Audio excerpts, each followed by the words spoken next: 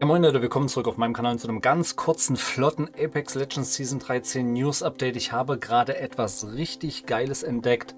Ein Feature in Season 13 soll kommen, was wir schon seit Ewigkeiten alle ersehnen. Custom Lobbys. Es soll tatsächlich in Season 13 schon kommen. Es gibt einen es gibt jemanden, der hat irgendwie, wo es, es gibt wohl irgendwo eine Ratte in Apex Legends, der ständig all möglichen Spaß veröffentlicht. Von Newcastle, der hat alles schon veröffentlicht, das Gameplay, die ganzen das ganze Zeugs halt, ihr wisst, was ich meine. Ich habe in den letzten Tagen viel auf meinem Drittkanal davon äh, mit unter anderem veröffentlicht.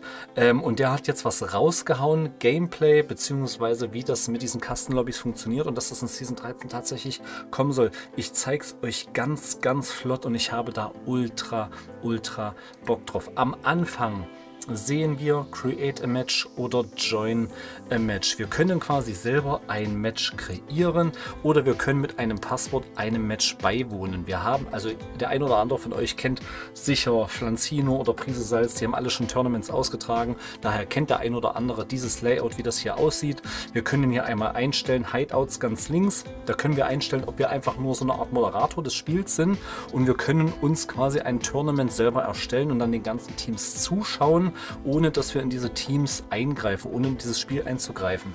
Und das ist eine richtig fette Sache. Wir können das natürlich auch so einstellen, dass wir selber mitspielen, bis zu 20 Teams. Ähm, wir können, glaube ich, das sieht man hier nicht, glaube ich, ich bin mir nicht sicher, ich glaube, ich habe es schon mal gesehen, dass man eigentlich auch die Teamgröße von 3 auf 2 verringern kann. Ob das hier tatsächlich machbar ist, weiß ich leider nicht.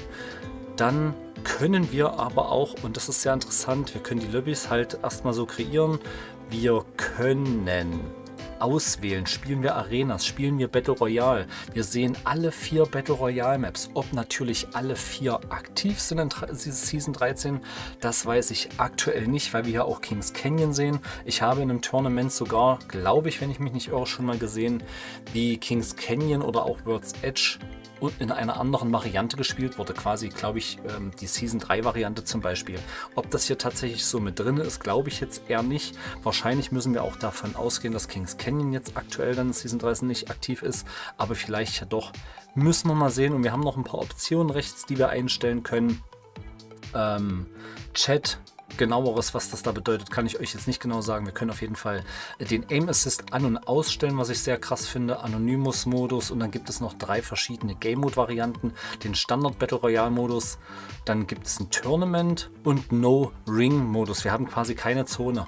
Wie da die Runde allerdings aussieht, keine Ahnung. So, jetzt switcht der Kollege hier auf jeden Fall noch auf den Arena-Modus. Dort sieht das Ganze genauso aus. Und wenn das tatsächlich in Season 13 kommt, dieses Feature, dann fresse ich den Besen. Dann können wir im Livestream endlich mal richtig geile richtig geile Community Games machen, wo wir uns alle im Stream wiederfinden. Jeder springt in die Lobbys und wir haben wahrscheinlich eine Menge, Menge Spaß. Kann man auf jeden Fall richtig geilen Scheiß mit anfangen. Darauf freue ich mich extrem. Diese Information wollte ich euch noch schnell zum späten Samstagabend raushauen. Zum Sonntag meine ich natürlich. Das war es schon wieder von mir. Haut rein. Bis zum nächsten Mal. Ciao.